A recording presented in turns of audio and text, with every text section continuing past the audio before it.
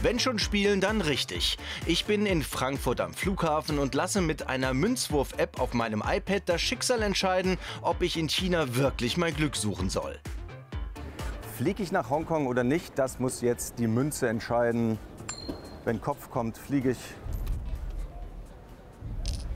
Wunderbar, ich fliege nach Hongkong. Aber Hongkong ist nur eine Zwischenstation, denn eigentlich will ich auf eine Halbinsel 70 Kilometer vor Hongkong, nämlich Macau. Das Verrückte ist, dort gibt es 30 Casinos. Und diese 30 Casinos machen siebenmal mehr Umsatz als die über 100 Casinos in Las Vegas. Verrücktes Macau, das schaue ich mir an. Und damit ich nicht vollkommen verarmt aus dieser Spielehölle nach Hause komme, habe ich mir ein Limit gesetzt. Maximal diese 250 Euro gebe ich für den Nervenkitzel in Macau aus. Kann also ein kurzer Trip werden. Kurz ist relativ. Direktflüge nach Macau gibt es aus Deutschland nicht. Das heißt erst mal elf Stunden nach Hongkong. Und dort finde ich heraus, dass es viele Wege ins Spielerparadies gibt. Lassen wir ein weiteres Mal das Schicksal entscheiden. Es gibt wohl zwei Möglichkeiten, nach Macau zu kommen von Hongkong aus. Entweder mit dem Helikopter oder mit der, mit der Fähre. Und vielleicht sollten wir einfach die Münze entscheiden lassen. Sagen wir mal so, wenn Zahl kommt, nehme ich den Helikopter.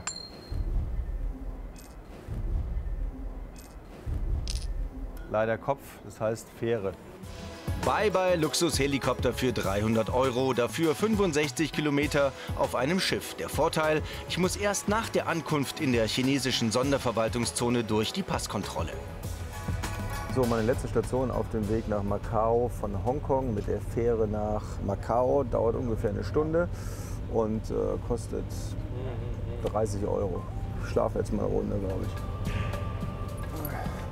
Eine gute Idee, denn in Macau erwartet mich eine einzigartige Mischung der Kulturen. 450 Jahre war Portugal Schutzmacht der kleinen Halbinsel vor der chinesischen Küste. Heute ist es eine sogenannte Sonderverwaltungszone. Und viel Platz gibt es hier nicht. Auf einem Gebiet halb so groß wie Bremen drängeln sich 600.000 Einwohner und Millionen von Touristen aus aller Welt, die das Las Vegas des Ostens jedes Jahr besuchen. So spannend dieser Kulturenmix auch ist, alles dreht sich in Macau ums Glücksspiel. Das ist doch mal eine nette Begrüßung hier. Also, nach 20 Stunden bin ich endlich in Macau. Man wird gleich begrüßt, hier mit so einem äh, Art feuchten Waschlappen. Gefühlte 100% Luftfeuchtigkeit und 35 Grad. So, jetzt muss ich nur entscheiden, wie komme ich in mein Hotel. Äh, spielen wir drum, oder? Werfen eine Münze entweder mit dem Hotelbus oder mit dem Taxi. Sagen wir mal äh, Zahl ist Taxi. Das heißt, wir nehmen den Hotelbus. Und der ist erfreulicherweise kostenlos.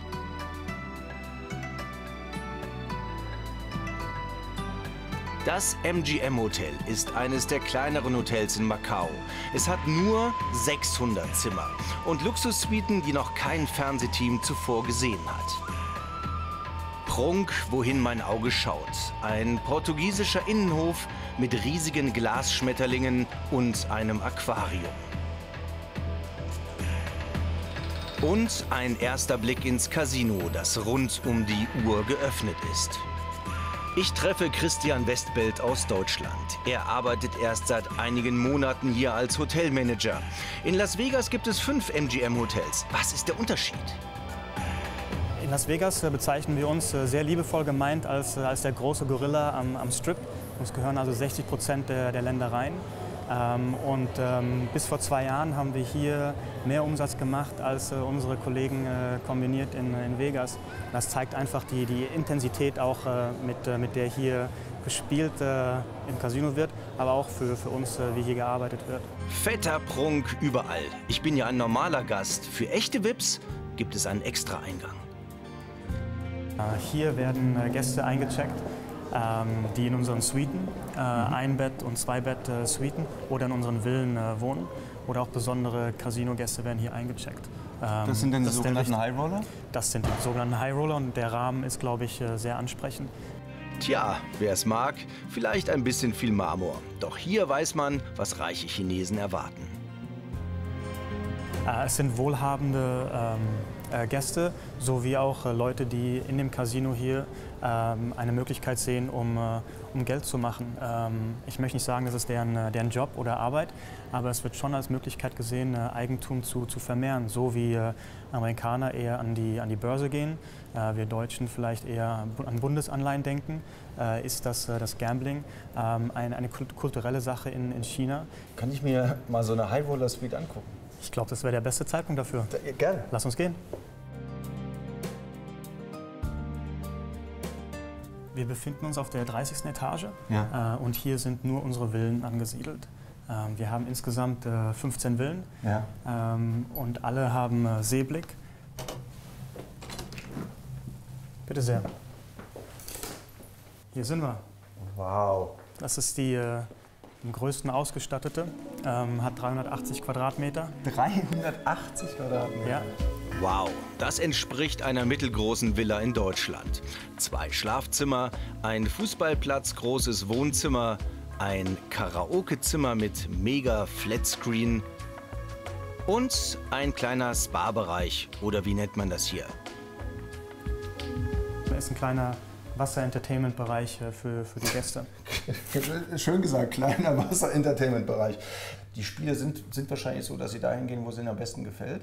Äh, wenn unsere Casino-Gäste besondere Wünsche haben, äh, das geht bis zu einem äh, neuen ähm, äh, Toilet Bowl, äh, auf Deutsch das Wort. Eine ist, Toilettenschüssel. Toilettenschüssel. Dann ähm, wird auch die, die Toilettenschüssel ausgetauscht in, in allen Bädern der, der Villen und der, der Suiten. Das machen wir dann innerhalb von, von wenigen Tagen.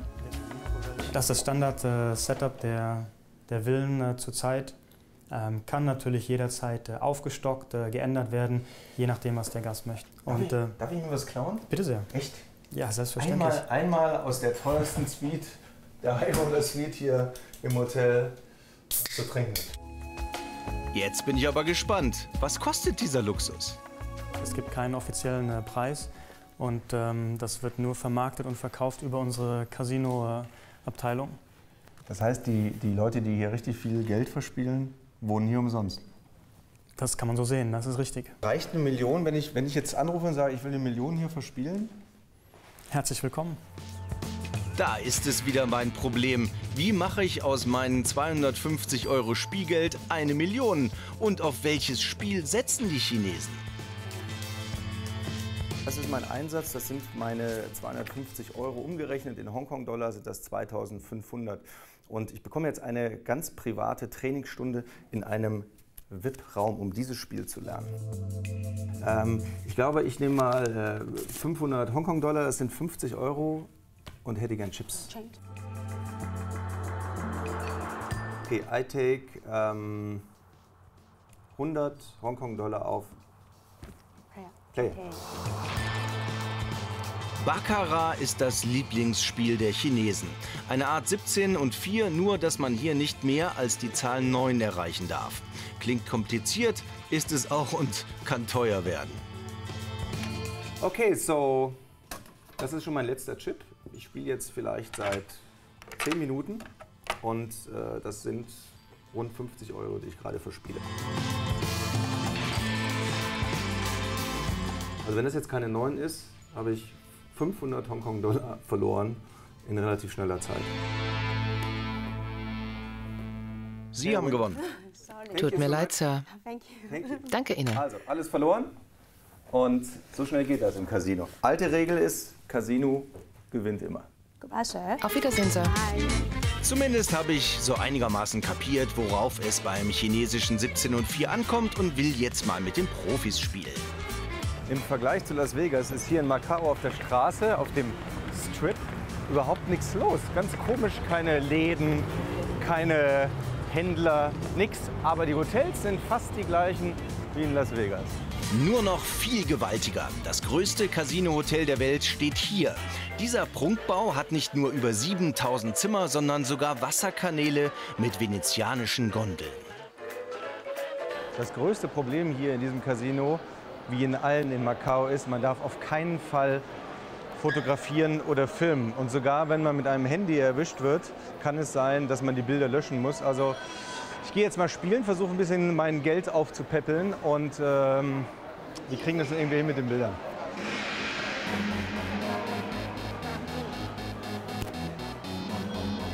Oh, it's okay. Unsere Kamera darf nicht mit rein. Deshalb machen wir in den nächsten Tagen in anderen Casinos heimliche Aufnahmen. Einarmige Banditen, Roulette und Würfelspiele könnte auch Las Vegas sein. Nur wird hier um viel mehr Geld gespielt. Mich interessiert, was in dieser künstlichen Welt des Mega-Casino-Komplexes noch geboten wird. Hunderte von Luxusgeschäften und eine italienische Gondelfahrt. Ich habe jetzt gerade im Casino gespielt, ungefähr drei Minuten nochmal 20 Euro verloren. Es wird also echt langsam knapp. Diese Gondelfahrt hier kostet 12 Euro und vielleicht kann mich der Kollege ja ein bisschen aufheitern.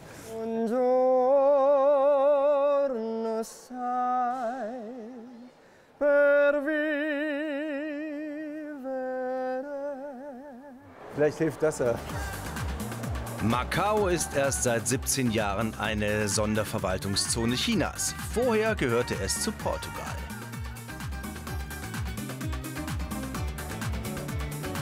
Das ist schon echt schräg hier in Macau. Auf der einen Seite ein buddhistischer Tempel und da drüben dann die Überreste der ersten christlichen Kirche in Macau. Zwei Welten, Portugiesisch und Chinesisch. Und er hat die Kolonie vor mehr als 400 Jahren entdeckt und seitdem verstehen sich die Chinesen und Portugiesen immer noch gut. Vielleicht, weil sie seit jeher eine gemeinsame Leidenschaft haben, das Essen. Überall auf den Straßen wird mir Essen angeboten. Probieren unbedingt erwünscht. Doch, sie hat auch was zu essen hier. Hey, Hey, was ist das? Schwein. Pork? Ja. Schwein. Ah, gegrillt mit Honig. Thank you. Wer nach Macau reist, ist als Europäer ziemlich alleine, obwohl vieles hier europäisch aussieht. Aber 90 Prozent aller Touristen kommen aus China und alle wollen was mitbringen aus Macau. Kekse. Die gelten daheim als absoluter Luxus und sollen Glück bringen.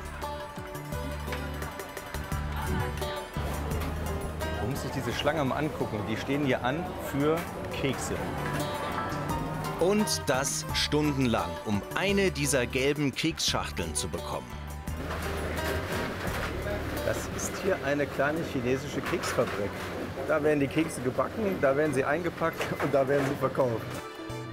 Und ich versuche mein Glück im nächsten fensterlosen Casino. Chinesen spielen hier bis zu 18 Stunden täglich und verlassen ihr Hotel nie.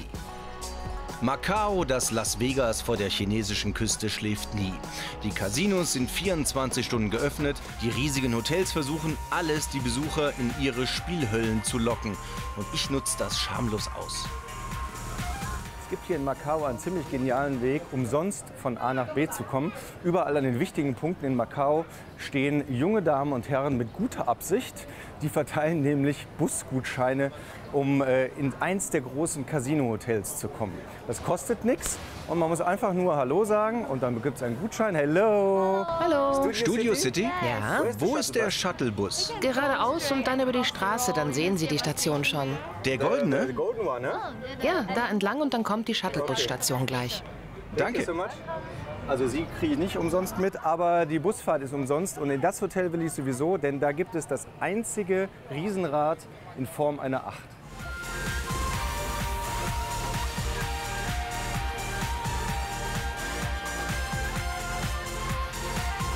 Cool, oder? Und umsonst.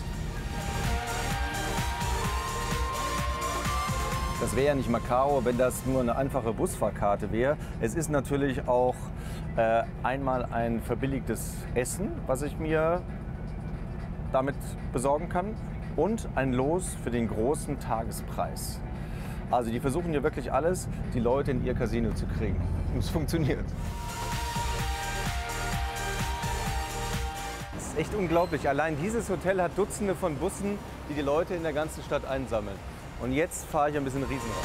Das weltweit erste Riesenrad in Form einer Acht befindet sich im 23. Stock. Kostet 10 Euro pro Person und dauert 12 Minuten. 130 Meter geht es langsam in die Höhe. Weil in China die 8 die absolute Glückszahl ist, hat man dieses Riesenrad in Form einer 8 gebaut. Sozusagen riesiges Glück für alle Spieler in Macau.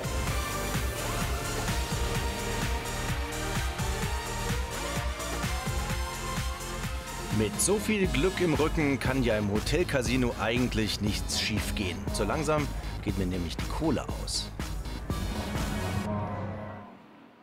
Ja, ja, die große Acht bringt allen Glück von wegen, wahrscheinlich nur den Chinesen. Ich habe zumindest mal wieder verloren. Aber ich will auch das andere Leben hier kennenlernen. Ins Longwa Tea House gehen die Einheimischen morgens zum Frühstück.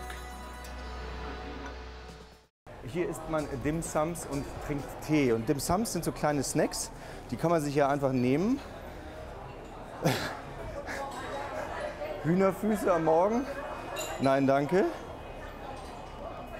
Das sieht auch nicht so aus wie äh, Schweinefleisch. Ich glaube, das ist irgendwie Lunge oder Pansen.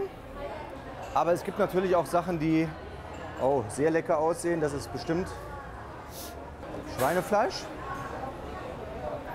Das nehmen wir mit. Und noch was?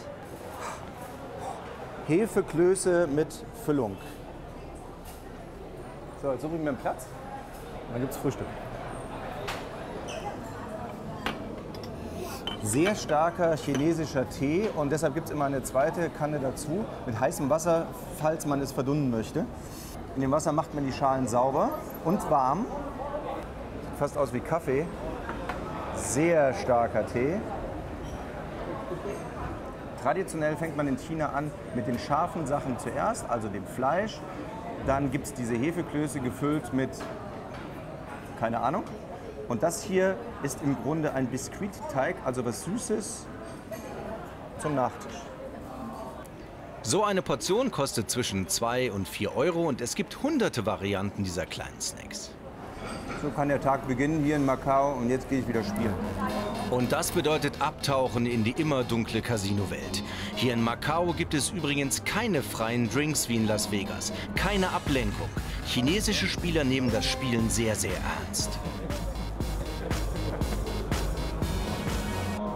Nicht zu fassen. Auch ich habe jetzt mal Glück gehabt und habe wirklich gerade äh, 1600 Hongkong-Dollar gewonnen. Das sind 160 Euro. Und damit bin ich wieder im Rennen. Ich kann weiterspielen. Ich bin also wieder etwas flüssiger und suche mir neue Herausforderungen in der umsatzstärksten Casinostadt der Welt. Essen ist neben Spielen die Lieblingsbeschäftigung der Chinesen. Und nicht alles sieht auf den ersten Blick wirklich lecker aus.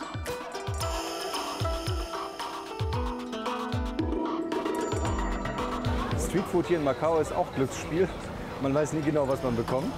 Äh, könnte Huhn sein oder auch nicht. Über 90 Prozent der Bewohner Makaos kommen aus China und sprechen kein Englisch. Da wird meine Suche nach etwas Essbarem auch zum Nervenkitzel. Dann werde ich mal mein Glück versuchen. Wir sind schließlich in der Stadt des Glücksspiels. Ähm, esse ich hier was von der Straße oder nein? Wenn Zahl kommt, dann probiere ich es. Ehrlich? Okay. Hi. Sprechen Sie Englisch? Nein. Nein, nein. What, what, what's this? Was ist das? Äh, Lunge? Lang? Ja. Das ist Pansen und, und Lunge und Mägen. Das äh, wird hier gerne genommen. Aber heute nicht von mir. Ich entscheide mich für etwas, das aussieht wie Huhn. Sicher bin ich mir aber nicht. Pilze, das alles kommt in eine Brühe und fertig. Ah. So, jetzt mal ehrlich, das ist natürlich ganz frisch gemacht. So, jetzt guck hier zu, wenn ich dann jetzt schön zu gucken, wenn ich dein Essen esse, ja, ob es schmeckt. Ah. Gut. Wenn man sich erstmal durchgerungen hat, hier das zu essen, ist das wirklich lecker und frisch. Also besser geht's einfach nicht. Und es ist nicht teuer. Kann man wohl sagen. Drei Euro habe ich für die Portion bezahlt und es war wirklich lecker. Aber was essen eigentlich die Spieler im Casino? Da treffe ich mich doch mal mit einem Profi. Oliver, ich glaub's ja Ah, nicht. Jiao San, das sind Chinesisch für Welcome. Dieses Restaurant ist das größte des Hotels und 24 Stunden geöffnet. Bestelle ich hier? Ganz normal in der Karte? Und der Menü steht hier. Und ist sehr einfach. Das sagst du so. Dass das, Ja, das, Und die Nummer, die, die, die, die Nummer von jedem Tisch ist da drauf. Aber warum bestellen die nicht einfach bei eurer Bedienung und sagen, ich hätte gern Nummer Ah, 78 oder so? Ah, die, die wollen es einfach äh, so haben. Die wollen ankreuzen. Ja. Das heißt, ihr verirrt sich auch kein, kein Nicht-Chinese hin? Nee. nee, nee. So, das ist das, chinesische System. Darf ich mal in die Küche? Ja, schon. Komm, das muss ich mir mal angucken. Schnellimbiss bekommt hier eine neue Bedeutung, denn schnell muss das Essen auf den Tisch, damit die Spieler nicht zu viel Zeit verlieren und wieder zocken können. Oliver nimmt mich mit hinter die Kulissen und zeigt mir den Bereich für die über 3000 Mitarbeiter des Hotels. Hier gibt es einen eigenen Supermarkt und einen vollautomatischen Reinigungsservice, bei dem die Mitarbeiter ihre Uniformen waschen lassen können. Und auch die Kantine ist riesig und siehe da, die haben hier sogar amerikanisches Fastfood. Verrücktes Macau. Die haben hier einen McDonalds in ihrer Kantine. Ich dreh durch. Ehrlich, ich habe immer mehr den Eindruck, dass ein Urlaub in Macau sich nur um Casinos und Spielen dreht. So, Zeit für einen kleinen Kassensturz. Mal sehen. Das sind jetzt noch so etwa 190 Euro, die ich von meinem Spielgeld übrig habe. Und das geht schnell mit dem Verlieren hier in Macau. Aber es reicht noch, um mir einen echten Nervenkitzel zu leisten. Und zwar hier, auf dem Sky Tower. Das Ungetüm ist 338 Meter hoch und man kann sich hier gepflegt ins Unglück stürzen. Eine der wenigen Möglichkeiten, sich außerhalb von Casinos in Macau zu vergnügen. Hier auf dem Sky Tower in Macau gibt es gleich dreimal die Möglichkeit, mir den Magen umzudrehen. Man kann ganz nach oben klettern auf die Spitze dieses Turms. Geht heute leider nicht. Oder Gott sei Dank, viel zu viel Wind. Und das zweite ist ein Bungee-Sprung und das dritte ist ein sogenannter Skywalk. Dann läuft man angeleint außen auf diesem Turm herum. Ich finde alles schrecklich und ich lasse die Münze entscheiden. Ich bin ja schließlich in der Spielerstadt. Ähm, Bungee würde ich lieber machen. Bungee ist Zahl.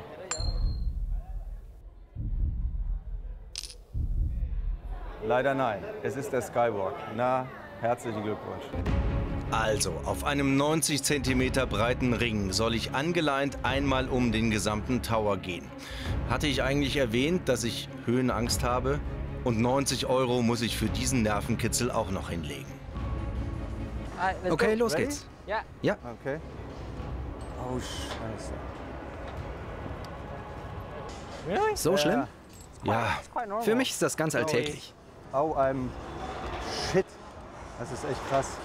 It's very strange. Ich gehe so wie eine 80-jährige Oma. Wow.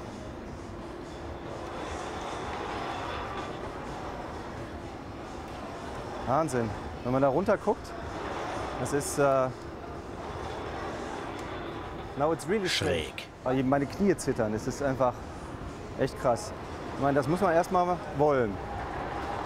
Die Nummer hier. Ich meine, also wenn man jetzt, wenn man jetzt Nerven hätte, so richtig meine, so cool wäre, dann würde man einfach hier oben stehen und sagen, geile Aussicht. Da ist China, da hinter mir ist Macau und man könnte das einfach genießen. Wenn du es versuchen willst, kannst du dich gerne mal hier auf die Kante stellen. Nein, danke Thomas. Ich möchte mich nicht an die Kante stellen. Diese Hand an diesem Seil ist so festgetackert, ich glaube, ich kriege die wieder los. Ganz ehrlich, in der Stadt, wo es ganz viel ums Spielen geht, ist das sicherlich ein Nervenkitzel, den man mal ausprobieren sollte. Zumindest ein einziges Mal. Mir reicht's. Von meinen 250 Euro Spielgeld ist fast nichts mehr übrig. Aber einen Nervenkitzel gönne ich mir noch. Der letzte Straßenfriseur Makaos bietet seine Dienste in einem schummrigen Hinterhof an. Um diese letzten 5 Euro verspiele ich jetzt auch noch. Es geht darum, Haare schneiden oder rasieren. Ich hoffe, es wird rasieren. Und wie immer schmeiße ich eine Münze. Ähm, wenn Kopf kommt, dann ist es Haare schneiden. Und wenn Zahl kommt, dann ist es rasieren. Bitte, bitte, bitte rasieren.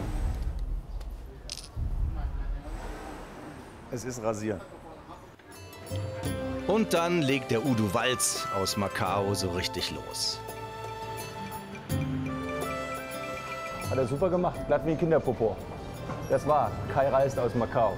Diese Stadt ist eine Reise wert. Wer spielen will, kann das rund um die Uhr. Viel spannender die Mischung aus chinesischen und portugiesischen Einflüssen. Das gibt es nur hier in Macau, dem Las Vegas des Ostens.